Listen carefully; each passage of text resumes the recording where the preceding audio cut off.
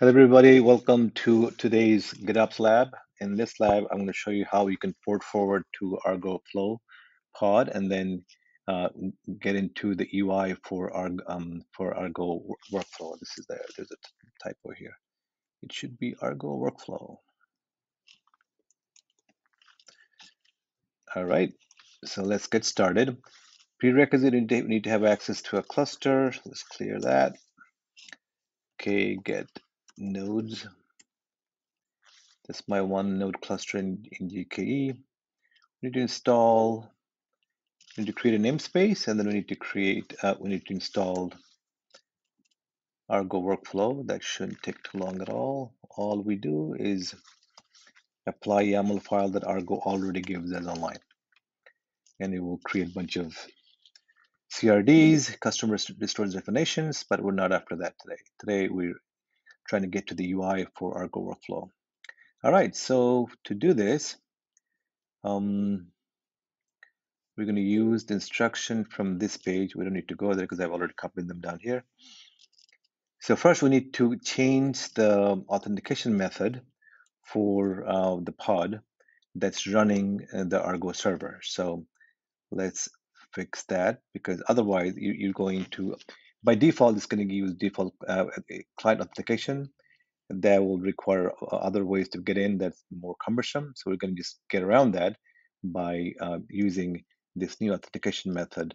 And to do that, we will run this kubectl patch command. Okay, that is patched. Now let's do, let's describe this thing, this deployment. Argo server, what does it even do? I put get, actually I'm, I, li I like get better because it's more readable in my opinion. So I'm going to do minus O JSON minus O cannot type today. Ah, maybe minus it's in a different namespace, which are Argo. Ah, Ooh, lots of details. Lots of details. So this is the deployment.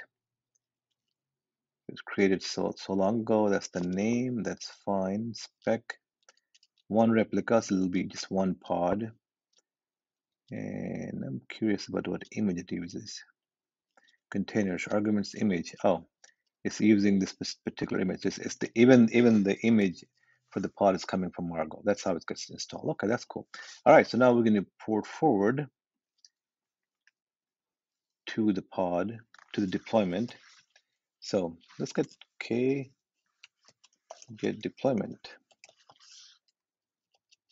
in named Argo namespace. And we see there are two deployments running. One of them is Argo, Argo controller. All right. By the way, when Argo says Argo, they really mean Argo workflow. Everything else has a different name, but when they by default Argo means Argo workflow.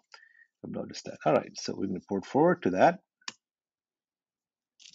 And now we should be able to hit this UI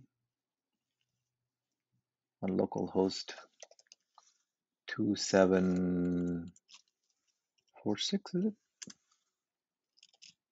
Okay, that's not it.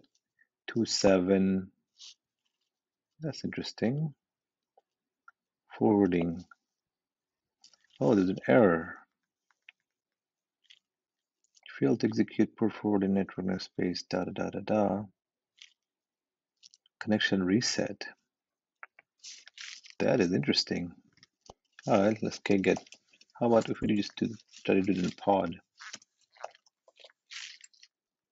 All right. K minus n argo. Port forward to the pod. And argo server.